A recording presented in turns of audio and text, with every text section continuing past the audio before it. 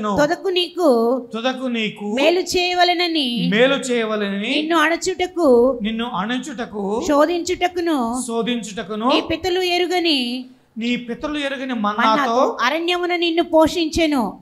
అరణ్యం నిన్ను పోషించెను. చాలు చాలు. ఎందుకంటే ఒకసారి పన్నెండో వచ్చిన చూసామంటే మంచి ఇండ్లు కట్టించుకొని మంచి ఇళ్ళు కట్టించుకొని వాటిలో నివసింపగా వాటిలో నివసింపగా నీ పశువులు నీ పశువులు గొర్రె మేకలను వృద్ధి అయి నీ గొర్రె మేకలను వృద్ధి అయి వృద్ధి అయి నీకు వెండి బంగారములు విస్తరించి నీకు వెండి బంగారం విస్తరించి నీకు కలిగినదంతయు వర్ధిల్లినప్పుడు నీకు కలిగినదంతయు వదిలినప్పుడు నీ మనసు మదించి నీకు మనస్సు మదించి దాసుల గృహమైన ఐగుప్తు దేశంలో నుండి దాసుల గృహమైన ఐగుప్తు దేశంలో నుండి నిన్ను రప్పించిన నిన్ను రప్పించిన నీ దేవుడైన యహోవాను మరచెదవేమో? చాలు నీ దేవుడైన యెహోవాను మరిచెదవేమో? చూడండి మరిచెదవేమో అంటే మనం మరుస్తాము కాబట్టే ఆయన మరిచెదవేమో అని క్వశ్చన్ చేశాడు. ఎందుకంటే ఆ పని వాళ్ళు అంతకుముందు చేసే ఉన్నారు. ఐగుప్తులో ఒకప్పుడు మరి దేవుణ్ణి మర్చిపోయారు కదా? వాళ్ళు దేవుణ్ణి మర్చిపోయి అన్నిట్లో పడిపోయి ఐగుప్తు దేశంతో పాటు వాళ్ళ జనాంగంతో పాటు కలిసిపోయినారు కాబట్టి వాళ్ళ మీద శోధన దేవుడు రప్పించినాడు. అలానే అనేక పర్యాయాలు నేను ఇందాక చెప్పినట్లుగా అనేక పర్యాయాలు మనిషి ఎప్పుడు తాను పెరిగినప్పుడు సొసైటీలో స్టేటస్లో పెరిగినప్పుడు ఉద్యోగాల్లో పెరిగినప్పుడు ఆస్తి ఐశ్వర్యంలో పెరిగినప్పుడు ఏం మర్చిపోతాడు? తన పూర్వ జీవితాన్ని మర్చిపోతాడు. ఎటువంటి పరిస్థితి నుంచి దేవుడు తన్ని పైకి లేపినాడో ఆశీర్వదించినాడో మర్చిపోతాడు. అందుకనే ఇక్కడ పదో పదకొండో వచనంలో ఏమని ఉంటుందంటే నేడు నేను నీకు ఆజ్ఞాపించు. నేడు నేను నీకు ఆజ్ఞాపించు. ఆయన ఆజ్ఞలను ఆయన ఆజ్ఞలను విధులను విధులను కట్టడలను కట్టడలను నీవు అనుసరింపక. నీవు అనుసరింపక. నీ దేవుడైన యహోవాను మరచి నీ దేవుడైన యెహోవాను మరిచి కడుపారా తిని. కడుపారాతిని చాలు. మనం ఆల్రెడీ చదువుకున్నాం కదా. అక్కడ ఏమింటుంది? ఒక ఒక మనిషికి ఆశీర్వాదం వచ్చినప్పుడు పెరిగినప్పుడు ఆశీర్వదింపబడినప్పుడు ఏమవుతుంది? శోధన వస్తుంది. ఇంకొక కోణంలో చెప్పుకోవాలంటే మనకి టెస్ట్ టెస్ట్ వస్తుంది. అంటే శోధన అంటే టెస్ట్. శోధన వచ్చినప్పుడు ఆశీర్వదింపబడతాం. ఆశీర్వదింపబడినప్పుడు ఏమొస్తుంది మన జీవితంలో? ఒక బాధ్యత అనేది వస్తుంది. అంటే రెస్పాన్సిబిలిటీ వస్తుంది. It's very simple. మనం దేవుడు మనకి గ్రంథాన్ని చాలా క్షుణ్ణంగా ఇచ్చినాడు. మనం దాన్ని మనం ఎట్లా అర్థం చేసుకునే బా మన భాషలో ఉండాలంటే ఇట్స్ వెరీ సింపుల్. ఈ ఒక వ్యక్తికి ఉద్యోగం వచ్చినప్పుడు ఎటువంటి సమస్యలోంచి బయటకు వచ్చినాడు? ప్రమోషన్ వచ్చినప్పుడు ఆశీర్వాదాన్ని బట్టి ఎంత ఆనందించినాడు? మరి ప్రమోషన్ వచ్చినప్పుడు ఏమొస్తుంది? రెస్పాన్సిబిలిటీ వచ్చినప్పుడు. ఉద్యోగం వచ్చినప్పుడు ఏమొస్తుంది? రెస్పాన్సిబిలిటీ వస్తుంది. అంతే కదా? శోధనలో ఉన్నప్పుడు మనకి ఆశీర్వదింపబడతాం. దేవుని మీద ఎప్పుడైతే మనం ఆధారపడతామో శోధనలో దేవుడి మీద ఆధారపడు ఆశీర్వదింపబడతావు. నువ్వు ఆశీర్వదింపబడినప్పుడు నీకు దేవుడు ఒక బాధ్యతను ఇస్తాడు.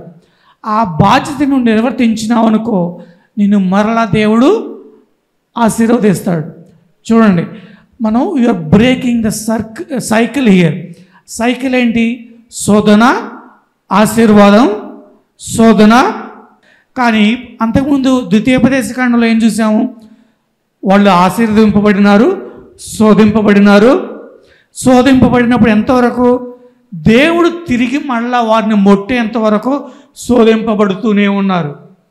అది మంచి మరి మరి మన జీవితంలో మంచి సైకిలా కాదు కదా? ఆశీర్వదింపబడతాము జారిపోతాం.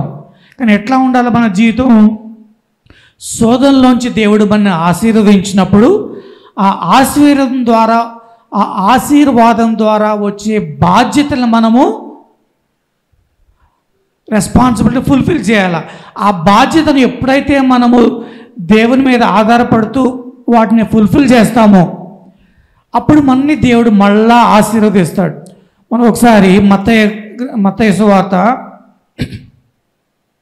నాలుగో అధ్యాయము చూడండి. మరి మూడో అధ్యాయంలో ఏం చూసాము?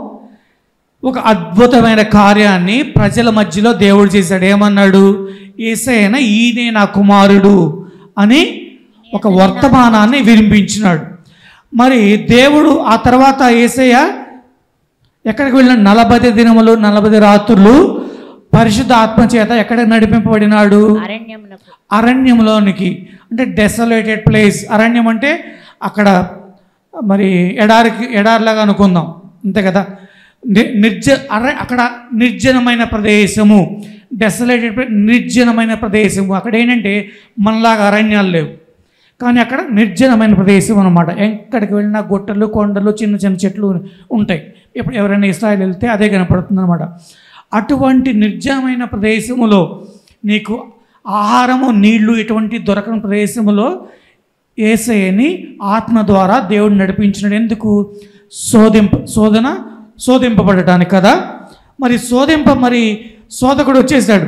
ఎప్పుడైతే ఏసయ్య వెళ్తా ఉన్నాడో మనం మార్కు సువార్తలు ఏం చూస్తామంటే ఏసయ్య శోధింపబడుతున్నప్పుడు ఏసయ్య అరణ్య మార్గంలో నలభై రోజులు నలభై రాత్రులు వెళ్తున్నప్పుడు ఆయన దేవదూతల చేత పరిచర్య చేయబడినాడు అని మనము నేర్చుకుంటాం. అల్లెలుయా అంటే దేవుని యొక్క ప్రతి ఒక్క బిడ్డకి పరిచర్య చేయటానికి ఎవరున్నారు?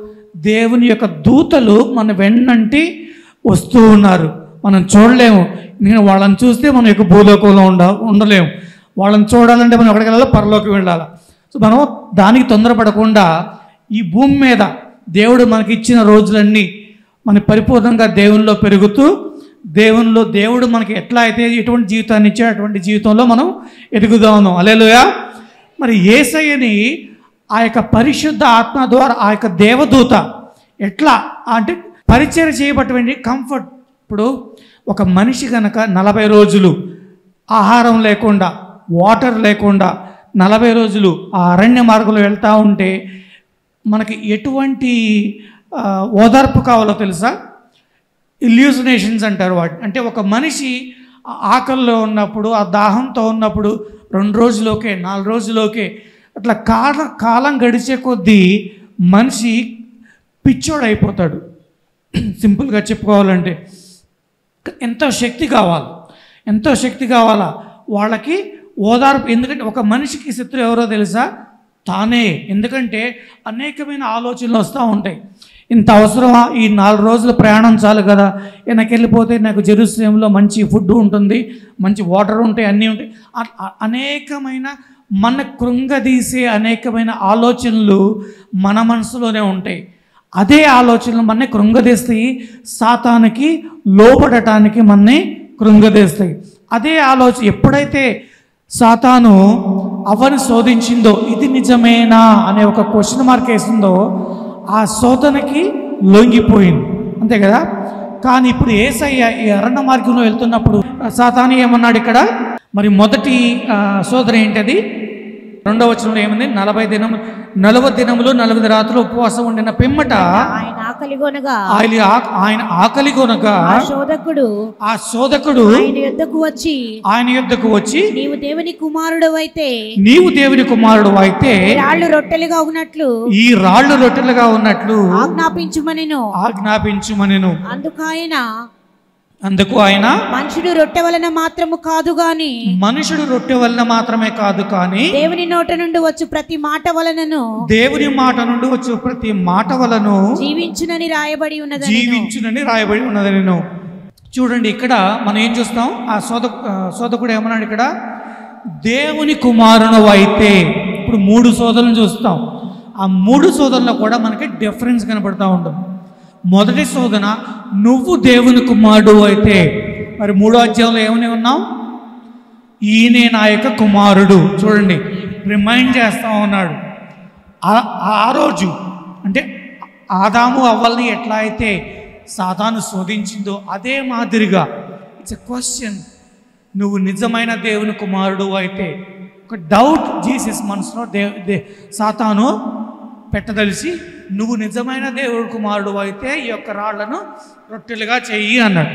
చూడండి మరి నలభై రోజులు ఆకలితో ఉండి దప్పికతో ఉన్నప్పుడు మరి ప్రూవ్ చేసుకు అప్పుడు దేవుడు ఏమని క్వశ్చన్ వేసాడు అనమాట మనం సింపుల్ ట్రూత్ ఆర్ డేర్ అంటే ఆ గేమ్ ఏంటది కాన్సెప్ట్ ఏంటంటే నువ్వు ఒకటి చెప్తావు. నువ్వు డేర్ అంటే ధైర్యం ధైర్యంతో ఉన్నది ఒక పని చేయాలి. ట్రూత్ అంటే నిజం చెప్పాలి. అంటే అటువంటి గేమ్ ఆడిందనమాట సాతాన్. నువ్వు నిజంగా అంటే నువ్వు ఇప్పుడు ప్రూవ్ చేయాలన్నమాట. ధైర్య నువ్వు ధైర్యవస్తుడు ట్రూత్ ఆర్ అంటే నువ్వు ధైర్యవస్తుడు అని ఎదుటి వ్యక్తిని నువ్వు ప్రూవ్ చేయాలి? అట్లానే నువ్వు నిజమైన దేవుని కుమారు అంటే ఏమంటున్నాడు? ప్రూవ్ చేయి. నువ్వు నిజమైన కుమార్ దేవుని కుమారుడు అయితే మరి మరి మూడో అధ్యాయంలో నువ్వు దేవుని కుమారుడు దేవుడు వినిపించాడని రాయబడి ఉన్నది కదా? మరి ఇప్పుడు నేను నిన్ను అడుగుతున్నాను అది కనుక నిజమైతే నువ్వు ఇక రాళ్ళను రొట్లుగా చేయి. మరి ఏసే మరి టెంప్ట్ అయ్యాడా? ఇట్స్ టెంప్టేషన్ దేనికి? దే నేను దేవుని యొక్క కుమారు ఇచ్చినప్పుడు దాని పుట్టు గురించి కాదు. స్వా సాతాన్ యొక్క శోధనకి టెంప్ట్ అయ్యి ఆయన తన్ను తాను సాతాన్ సాతానికి నిరూపించడానికి ట్రై చేస్తాడా? సాతానికి ఆయన నిరూపించడానికి ట్రై చేయక్కర్లేదు. అది ఆయన తెలుసు కదా? అందుకని ఏమన్నాడు? ఎటువంటి ఆయన లొంగల. లొంగకుండా ఆయన ఏమన్నాడు? అందుకు ఆయన మనుషుడు రొట్టె వలన మాత్రమే కాదు కానీ దేవుని నోట నుండి దేవుని నోట నుండి వచ్చే ప్రతి మాట వలన జీవించును అని వ్రాయబడి ఉన్నదని చెప్పినాడు. ఏమి వాడాడు ఆయన? ఆజ్ఞల్లో దేవుడు ఇస్రాయేల్కి ఇచ్చిన మాటని ఆయన యొక్క శాతానికి గుర్తు చేశాడు. మరి రెండవది సోదరుడు చూసుకుందాం. అంతటా అపవాది ఆరో ఆరో వచనంలో అంతటా అపవాది పరిశుద్ధ పట్టణమునకు పరిశుద్ధ పట్టణమునకు ఆయన తీసుకొని పోయి ఆయన తీసుకుని పోయి దేవాలయ శిఖరమున దేవాలయ శిఖరమున ఆయనను నిలువబెట్టి ఆయన నిలువబెట్టి దేవుని కుమారుడు అయితే నీవు దేవుని కుమారుడు అయితే కిందికి దుముకుము. క్రిందికి దుముకుము. ఆయన నిన్ను గూర్చి ఆయన నిన్ను గూర్చి దూతలకు ఆజ్ఞాపించును. తన దూతలకు ఆజ్ఞాపించును. నీ పాదం ఎప్పుడైనను? నీ పాదం ఎప్పుడైనను? రాతికి తగలకుండా రాతికి తగలకుండా వారు నిన్ను చేతులతో ఎత్తుకొందురు. వారు నిన్ను చేతులతో ఎత్తుకొందురు. అని రాయబడి ఉన్నదని అని రాయబడి ఉన్నదని ఆయనతో చెప్పెను. ఆయనతో చెప్పాను. అందుకు యేసు అందుకు యేసు ప్రభువైన నీ దేవుని ప్రభువైన నీ దేవుని నీవు శోధింపవలదని నీవు శోధింపవలదని మరి ఒక చోట రాయబడి ఉన్నదని మరి ఒక చోట రాయబడి ఉన్నదని వానితో చెప్పెను. వానితో చెప్పాను. హల్లెలూయా. చూడండి ఇక్కడ ఈ సోదరంలో మరలా అదే వాడాడు. సాతాను ఏమని వాడాడు? నీవు నిజమా నీవు దేవుని కుమారుడు అయితే ఎక్కడి నుంచి? పై ఒక టెంపుల్ మీద నుంచి దేవాలయ శిఖరము నుంచి దూకమంటున్నాడు. ఇక్కడ కూడా ఏం చేయమంటున్నాడు? ప్రూవ్ చేయమన్నాడు మరలా అంటే డిఫరెంట్ కైండ్ ఆఫ్ టెంప్టేషన్ ఆయన ఏంటి? నేను నిజమైన కుమారుని సాతానికి ప్రూవ్ చేయాలి. ఎందుకంటే మరి సాతానికి సమస్తం సాతాను కూడా అన్ని తెలిసిన వాడే కదా. మరి సాతానికి దేవుని కుమారుడు అని తెలుసు. ఆయన ఏంటి? సాతా సాతాన్ ఏం చేయదలుచుకున్నాడు? ఏదైనా చేయి. ఏదో ఒక శోధనతో ఏదో ఒక టెంప్టేషన్తో యేసుక్రీస్తుని లోబడుచుకో లోబడి లోబడుచుకోవాలంటే ఏంటి? యేసుక్రీస్తు సాతాన్ యొక్క మాట వినటమే ఆయన కావాల్సింది. కానీ అప్పుడు ఏసై ఏమన్నాడు? గ్రంథంలో ఏమని రాయబడి ఉందంట? దేవుడి దేవుడిని మనం శోధింపవలదని. దేవుని శోధింపవలనని రాయబడి ఉన్నదని సాతానికి గుర్తు చేశాడు. ఇప్పుడు మూడో దాన్ని చూసుకుంటే మనము అపవాది మరల అపవాది మిగుల ఎత్తైన ఒక కొండ మీదికి మిగల ఎత్తైన ఒక కొండ మీదకి ఆయనను తోడుకొని పోయి ఆయన తోడుకొని పోయి ఈ లోక రాజ్యములన్నిటినీ ఈ లోక రాజ్యములన్నిటినీ వాటి మహిమను వాటి మహిమను ఆయనకు చూపి ఆయనకు చూపి నీవు సాగిలపడి నీవు సాగిలపడి నాకు నమస్కారము చేసిన ఎడల నాకు నమస్కారము చేసిన ఎడల వీటినన్నిటినీ నీకు ఇచ్చేదనని వీటినన్నిటినీ నీకు ఇచ్చదనని ఆయనతో చెప్పగా ఆయనతో చెప్ప ఆయనతో చెప్పగా యేసు వానితో యేసు వానితో సాతానా సాతానా పొమ్ము పొమ్ము ప్రభు అయిన నీ దేవునికి మొక్కి. ప్రభువైన నీ దేవునికి మొక్కి ఆయనను మాత్రము సేవింపవలెను. ఆయన మాత్రము సేవ- సేవింపవలెను. అని రాయబడి ఉన్నదనెను. హల్లెలూయా. చూడండి ఇప్పుడు మూడవ శోధన వచ్చేవాడికి మారిపోయింది. ఎట్లా ఏం చూస్తాం ఇక్కడ? అంతకుముందు ఏం చేశాడు సాతాను? యేసుక్రీస్తుని ఏమని ప్రూవ్ చేసుకోమన్నాడు? నువ్వు నిజమైన దేవుని కుమారును అయితే అని శోధించడానికి ట్రై చేశాడు. యేసుక్రీస్తు ఏమన్నాడు? దేవుని శోధించ తగదు అని దైవ గ్రంథంలో రాయబడిన ఉన్నదని గు- గుర్తు చేశాడు కదా. అప్పుడు సాతాన్ అనుకున్నాడు ఓకే నో మ్యాటర్ వాట్ నేను ఏమి చెప్పినప్పటికీ ఈ యొక్క వ్యక్తి నాకు లొంగేగల లేడు. ఇంకా ఒక్కటే మిగిలి ఉంది ఏంటి? మరి ఏసై ఎందుకు వచ్చాడు? మన అందరినీ విమోచించడానికి ఎలా విమోచించడానికి? మన అందరి పాపాన్ని ఆయన తన భుజాల మీద వేసుకొని ఆయన నీతిని మనకు ఇచ్చి మన పాపాన్ని ఆయన తన భుజాల మీద వేసుకొని మన పాపముల నిమిత్తము రక్తాన్ని కార్చి సులువు మీద మరణించి మరలా తిరిగి మూడవ రోజున లేచి మన పాపాలకి ప్రాయశ్చితం తగినట్లుగా ఆ కార్యక్రమాన్ని అంతా గోత్రు అవ్వాలని సాతానికి తెలుసు. మరి దే ఏసై ఎప్పుడైతే మన మన పట్ల సిలువు మీద అంత యాగుని అంత శ్రమలు అనుభవించి మన్ని ఆయన యొక్క నీతిని మనకి ఇచ్చి మన నీతిమంతులుగా చేసి మన యొక్క పాపానికి ఆయన క్రయధనం అని చెప్పుకుంటాం కదా. ఎప్పుడైతే ఆ క్రయధనాన్ని చెల్లించి మనకు విమోచన చేసినాడో దేవుడు ఆయన ఏం చేసినాడు సమస్తమైన భూమండలానికి ఆకాశంలోనికి భూమి మీద భూమి కింద సమస్తమైన వాటన్నిటి మీద ఆయన్ని రాజుగా చేసినాడు కదా. మరి దే యేసుక్రీస్తుకు తెలుసు అంత గోత్రు అవ్వాలని. చూడండి సాతానికి తెలుసు. ఏసై అంత గోత్రు అవ్వాలి. ఏంటి? సమస్తమైన అధికారానికి అధికారము ఏసైకి రావాలి అంటే ఆయన అంత గోత్రు అవ్వాలి. షార్ట్ కట్ ఏమన్నా ఉందా? Yes I give you short cut ఒక చిన్న షార్ట్ కట్ని ఏసైకి ఇద్దాము. చూద్దాం. ఏమన్నా లొంగుతాడేమని ఏమన్నాడు? మరలా అపవాది ఎత్తైన కొండ మీదకి తీసుకెళ్ళి ఏమన్నా అంట? లోకరాజ్యములన్నిటినీ, వాటి మహిమను ఆయనకు చూపి వాటి మహిమను ఆయనకి చూపి సాగిలపడి నీవు సాగిలపడి నాకు నమస్కారం చేసిన ఎడల నీకు ఇచ్చదనని వీటన్నిటినీ నీకు ఇచ్చదను. అంటే దేవుడు వాటన్నిటిని ఆయనకి ఎప్పుడు ఇచ్చినాడు? ఎప్పుడైతే యేసుక్రీస్తుని దేవుడు ఒక ప్రత్యేకమైన కార్యం భూమి మీదకి పంపించిన తర్వాత ఏసయ్య ఆ కార్యక్రమాన్ని కంప్లీట్ చేసిన తర్వాత దేవుడు ఆ యొక్క ఘనతను ఏసైకి ఇచ్చినాడు. మనం మన ఫిలిపి గ్రంథంలోకి వెళ్దాము. కానీ మనం చూసుకుంటే ఆ ఘనత అప్పుడు అంతా చేసిన తర్వాత వచ్చే ఘనతని ఏమంటున్నాడు? నువ్వు సాగిలపడి నాకు నమస్కారం చేస్తే చాలు. నీకు సమస్తము నేను నీకు ఇచ్చేస్తాను. చూడండి. అ- అక్కడ అల్లెలయ్యో అనకూడదు. ప్రతిదానికి అల్లెలు అనకూడదు. ఇక్కడ ఏమన్నాడు అల్లెలుయ అంటే మీరు ఏమంటున్నారో తెలుసా? Praise the lord so be it ఎందుకంటే సాతాను కనుక సాతాను మనకి సాతాను ఏసైకి సమస్తమైన అధికారం ఇస్తే అల్లెలుయ అన్నాం. నో నో నో తప్పు కదా. కానీ ఏమన్నాడు? సాతాను ఒక లొంగ తీసుకోవడానికి ట్రై చేశాడు. ఎట్లా? రెండు విషయాల్లో సాధ్యపడలేదు. ఏ విషయాల్లో? దేవుని కుమారు అయితే రుజువు చేసుకోమన్నప్పుడు సాతానికి ఏసయ్య లొంగలేదు. కానీ నెక్స్ట్ ఏంటి? నువ్వు దేవు ఓకే. ఏసైకి తెలుసు కదా అంత గోత్రవాల్సిన పని లేదు నువ్వు నాకు నమస్కారం చేస్తే నీ తండ్రి నీకు ఏ అయితే ఇస్తావు అన్నాడు సమస్తము నీకు ఇచ్చేస్తాను అన్నాడు. కానీ ఏసయ్య దానికి కూడా లొంగలేదు అలెలుయా దానికి అలెలుయా చెప్పాలి. ఎందుకంటే తండ్రి పంపించిన దాన్ని బట్టి తన ముందు ఏమి జరుగుతుందో తెలిసి ఉండి కూడా సాధానికి లొంగకుండా ఆయన సాతాన్ని తిరస్కరించినాడు. కాబట్టే భూమి మీదను ఆకాశం నందును భూమి కిందనందును ఫిలిపిల్ రాసిన పత్రిక రెండో అధ్యాయము ఆరు నుంచి చదువుకోవచ్చు.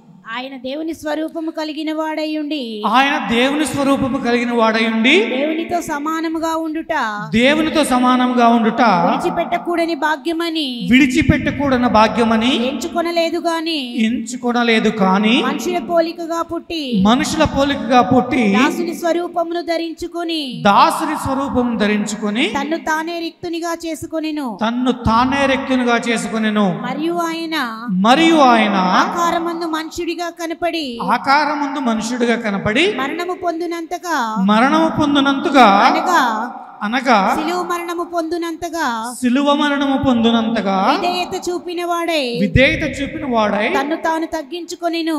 తన్ను తాను తగ్గించుకొనెను. అందుచేతనే అందుచేతనే పరలోకమందున్న వారిలో కాని పరలోకమందు ఉన్నవారిలో కానీ భూమి మీద ఉన్న వారిలో కాని భూమి మీద ఉన్నవారిలో కానీ భూమి కింద ఉన్న వారిలో కాని భూమి కింద ఉన్నవారిలో కానీ ప్రతి వాని మోకాలును ప్రతి వాణి మోకాలను యేసునామమున వంగునట్లును యేసునామమున వంగునట్లును ప్రతి వాని నాలుకయు ప్రతి వాని నాలుకయు తండ్రి అయిన దేవుని మహిమార్థమై తండ్రి అయిన దేవుని మహిమార్థమై యేసుక్రీస్తు ప్రభువని ఒప్పుకొనున్నట్లును యేసుక్రీస్తు ప్రభువుని ఒప్పుకొనున్నట్లు దేవుడు ఆయనను దేవుడు ఆయనను అధికముగా హెచ్చించి అధికముగా హెచ్చించి ప్రతి నామమునకు పైనామమును ప్రతి నామమునకు పైనామను ఆయనకు అనుగ్రహించెను.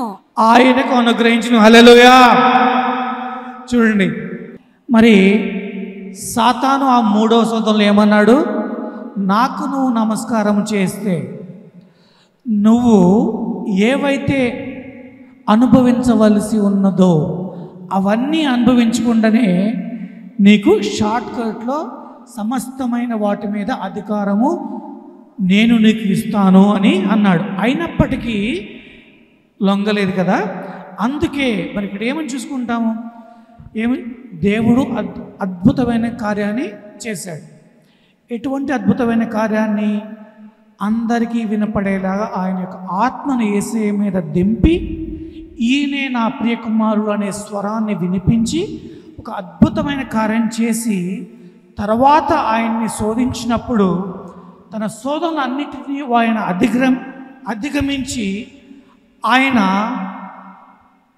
ఎటువంటి దానికి ఎటువంటి కార్య ఇప్పుడు దా ఆయన దేవుని యొక్క ఆ రాజ్యాన్ని గురించి ప్రకటించడానికి అర్హునిగా దేవుడు ఏసయం చేశాడు. హలెలుయా ఎప్పుడైతే ఆయన దేవుని యొక్క రాజ్యం గురించి ప్రకటిస్తూ తనకొచ్చిన సోదరులన్నింటినీ అధిగమిస్తూ దేవుని పట్ల ఎటువంటి ఆయన విశ్వాసం కలిగి ఉండి ఏమని చదువుకున్నప్పుడు విధేయతను కలిగి ఉండి తన తండ్రి ఎందు విధేయత కలిగి ఉండి మన ఎందు ప్రేమ కలిగి ఉండి మన పాపములన్నింటినీ ఆయన తన మీద వేసుకుని ఆయన సిరువులో మరణించి తిరిగి మరలా లేచినాడు కాబట్టి దేవుడు ఆయనకి అటువంటి గొప్ప ధన్యతను ఘనతను ఇచ్చినాడు. హల్లెలూయా.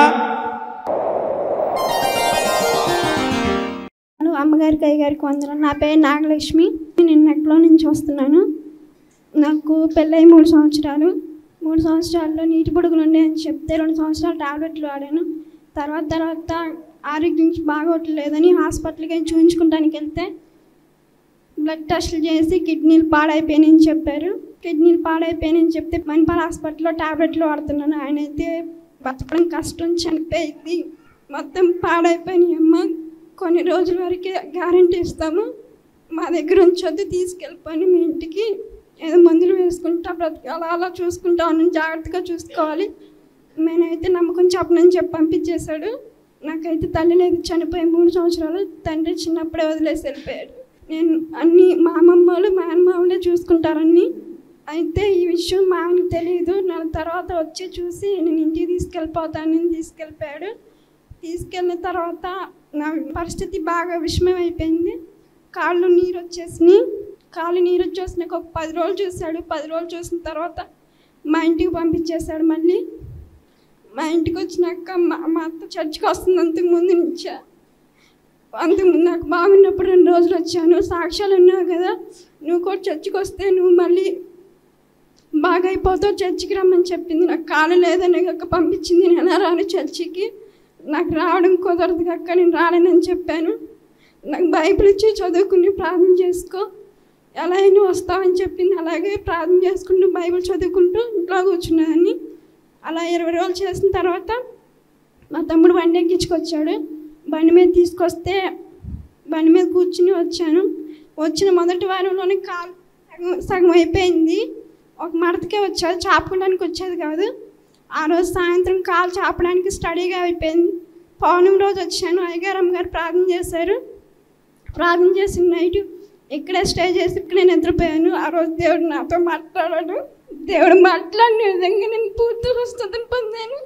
ఆ రోజు నుంచి ఏం తిన్నా వాంతి రావడం లేదు. వాంతులు ఆగిపోయినాయి వాంతులు ఆగిపోయినాయి యూరిన్ కూడా బంద్ అయిపోయింది యూరిన్ కూడా మొత్తం నాలో ఎలాంటి ప్రాబ్లం ఉందో అన్ని దేవుడు ఆ రోజు క్షణంలోనే తీసేస్తాడు. కానీ కాలు నడవనీయలేకపోయింది అలాగే ఇద్దరు పట్టుకుంటే వచ్చాను. నాలుగు రెండు మూడు వారాల తర్వాత మొన్న పోయిన వారం నుంచున్నాను పోయిన వారం నుంచిన తర్వాత ఇంటికి వెళ్ళాక రోజు అమ్మగారు ఫోన్ చేసి ప్రార్థన చేసేవాళ్ళు. నీకు ఆరోగ్యం ఎలా ఉందమ్మా అని ఫోన్ చేసి ప్రార్థన చేసేవారు. ప్రార్థన చేస్తున్నాను అమ్మగారు నుంచున్న నేను మామూలుగా నడవను. కాలు నడవడానికి సహాయం చేసింది. ఇప్పుడు మామూలుగానే నడుస్తున్నాను. నడవలేని నన్ను ఇక్కడ తీసుకొచ్చి దేవుడు నాకు మళ్ళీ పునర్జన్మనిచ్చాడు మళ్ళీ నా జీవితానికి నాకు ఇచ్చాడు. నన్ను వదిలేసుకున్నాను అనుకున్న భర్త నా దగ్గర పది రోజులకు ఒకసారి వచ్చి చూసి వెళ్తూ ఉంటాడు. అయినా నన్ను చాలామంది నువ్వు బతుకు కదా చచ్చిపోతాగా నీకెందుకు ఆశలు? పద్దాకి నీ మా ఇంటికి వెళ్తాను మా ఇంటికి వెళ్తాను ఎందుకు చచ్చిపోతాగా నీకెందుకు చచ్చిపోయేదానికి ఎందుకు ఆలోచనలు అలా అలాంటి ఆలోచనలు పెట్టుకోకుండా నీ పన్ను చూసుకో అన్నారు. కానీ నీకు ఎలా అని వదిలిపెట్టబుద్దిగా నమ్మలేదు తల్లి తండ్రి ఎవరు లేరు. ఇప్పుడు ఈ- ఈరోజు చనిపోయిన తర్వాత నేను చనిపోయిన మనుషులు అంటే నన్ను ఎవరు చూస్తారని ఏడ్చేదాన్ని. నేను లేవలేని స్థితిలో ఉంచి దేవుడు నన్ను లేపాడు. నన్ను బ్రతికించి ఈరోజు సన్నిధిలో సజీవురాలుగా నిలబెట్టి నా జీవితాన్ని మళ్ళీ నాకు ప్రసాదించాడు. నడవలేను అనుకుని నేను నడుస్తున్నాను. ఇప్పుడు బాగానే ఉంది. కాలు నొప్పి కూడా తగ్గిపోయింది. అమ్మగారు రోజు నాకు ప్రార్థన చేస్తారు ఫోన్ చేసి. అమ్మగారు రోజు ఫోన్ చేసి నా ఆరోగ్యం ఎలా ఉంది ఏంటని కనుక్కుని ప్రార్థన చేశారు. ఆ రోజు నుంచి నాకు కాలు నొప్పులు లేవు ఏమిలో వాళ్ళుగా నేను నడుస్తున్నాను.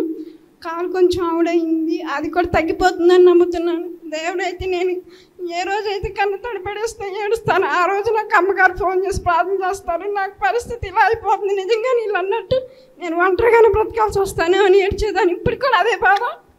కానీ ఆ బాధ రాదేమో. మా మళ్ళీ పది రోజులు బట్టి మా ఫోన్ కూడా చేయట్లేదని వదిలేసుకున్నాను. దేవుడి మీద భారం పెట్టి వదిలేశాను అనుకోకుండా ఈరోజు మా దగ్గర చూడడానికి వచ్చాడు. వదిలేస్తాడేమో సార్. నేను కూడా ఆస్తులు వదిలేసుకుందాం అని బ్రతుకుతున్నాను. బ్రతుకుతుంటే ఈరోజు చూడడానికి వచ్చి వెళ్ళిపోయాడు చూసి వెళ్ళిపోయాడు. మన నా కాలు నాకు వచ్చింది. నా- అంటే నేను నడిచి ఎవరు పట్టుకోకుండా నడుస్తాను ఈ సన్నిధిలో సాక్ష్యం చెప్పుకుంటాను అనుకున్నాను అయ్యగారు కూడా ఫస్ట్ ప్రార్థన చేసిన రోజు నీకు అన్నీ శుభ్రంగా తగ్గిపోతే నీ సన్నిధిలో సాక్ష్యం చెప్పుకుంటాను అనుకోమని చెప్పారు. అదే విధంగా ప్రార్థన చేసుకున్నాను. నేను పూర్తి స్వస్థతను పొంది ఉన్నాను. అన్- దేవుడు నాకు చాలా సాయం చేస్తాడు. నా జీవితాన్ని నాకు మళ్ళీ ప్రసాదించండి. నేను ఎవరికి భారం కాకూడదు. ఎట్లయినా చనిపోవాలని అనుకున్నాను ఆ టైంలో కానీ నాకు దేవుడు చనిపోవడానికి మార్గం కాదు. బ్రతికేని సాధించమని నన్ను సజీవురాలకి సన్నిధిలో పెట్టాను అందుకు దేవుడికి అంతగానో రుణపడి ఉంటాను. నేను బ్రతుకున్నంత వాళ్ళు ఈ సన్నిధిలోనే ఉంటానని చెప్తున్నాను. దేవుడికి గొప్ప సాక్ష్యం దీవించిన కాదు